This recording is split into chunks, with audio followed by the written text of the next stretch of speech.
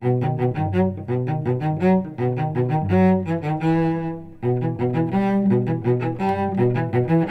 week is Expert Week for Local Girl Goes Local, and I've started reading Megan Kimble's Unprocessed.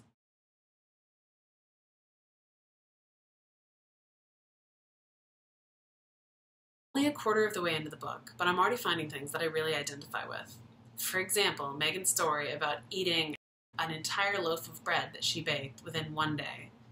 I have absolutely done that, and I hadn't even baked the bread. This was just bread that I bought, and yes, I ate the entire loaf of bread within one day, and actually, probably within the space of about one meal and one snack. Yeah.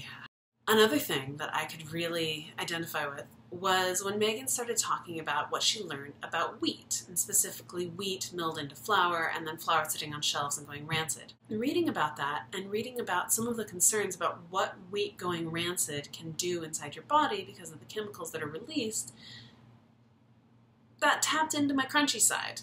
Uh, specifically, the side that says, oh no, I don't want to put weird stuff in my body. Is this weird stuff? Is it harmful? Is it working against how my body should work? And of course, that's something we're all obsessed about right now, right?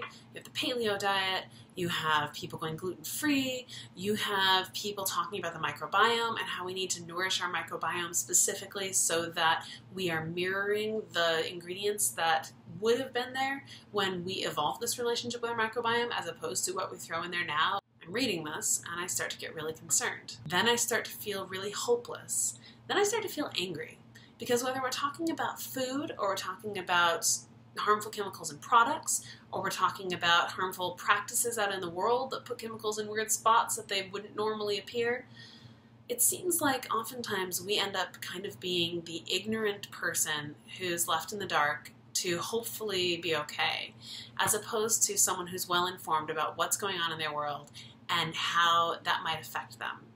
More importantly, it kind of feels like wouldn't these other people who are making these decisions that would lead to these different chemicals, processes, products being put out there in the world, wouldn't they care enough about us as individuals, or at least us as a species, to not put harmful crap out there?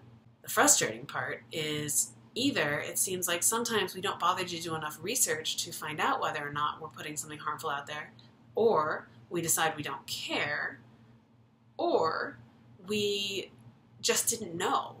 And then we cite that we just didn't know as the excuse behind why we did something that was really foolhardy and even more unfortunate.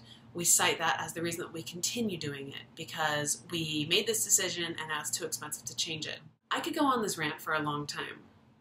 But what I wanted you to take away tonight is that the process of me becoming what people would call crunchy hasn't really been me trying to seek out a fringe alternative viewpoint, but rather it's been as I've found out more and more about what kind of contortions we've been twisting ourselves through in the world, I've become more and more intent on trying to avoid those contortions. What I'm really hoping is that people can look at my experience see that it can be done, that we can eat significantly more locally without it being a huge hassle, or at least with it being a conquerable hassle, and then be able to see how they can apply those lessons within their own life.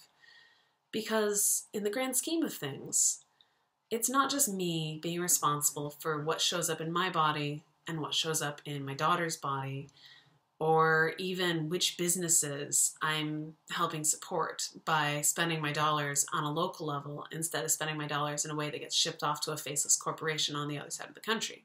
It's the idea that we can vote with our feet, and more specifically, our dollars, and the idea that we can take back our world and make our problems into something a little bit more manageable and a little bit more fixable. I know this has been quite a ramble.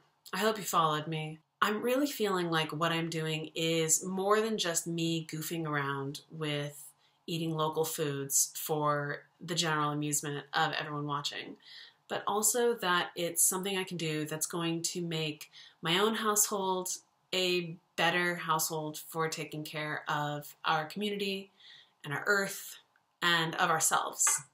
Until next time, happy learning, happy eating, and I'll see you tomorrow. Bye. You.